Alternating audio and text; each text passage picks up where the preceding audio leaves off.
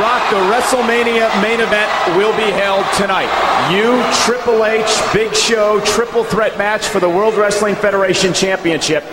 How do you feel? Michael Cole, The Rock says, you want to ask about The Rock's feelings? Well, The Rock feels that you should go suck on a monkey's nipple.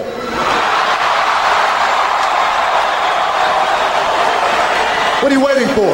Go find a monkey, jabroni. Now, The Rock says this. The Rock realizes what took place. He comes here. They want to bring WrestleMania to Raw Is War. They want to bring the triple threat match, the main event for the WWF title to the Windy City. Well, The Rock says, let it be brought. The Rock says, let it be brung. The Rock says, quite simply put, bring it.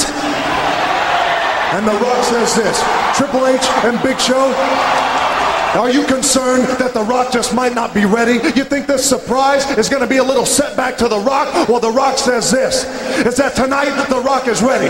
This morning, The Rock is ready. Yesterday, The Rock was ready. The day before that, the month before that, the week before that, last year, ever since The Rock lost the WWF title at WrestleMania, The Rock says the people's champ is ready.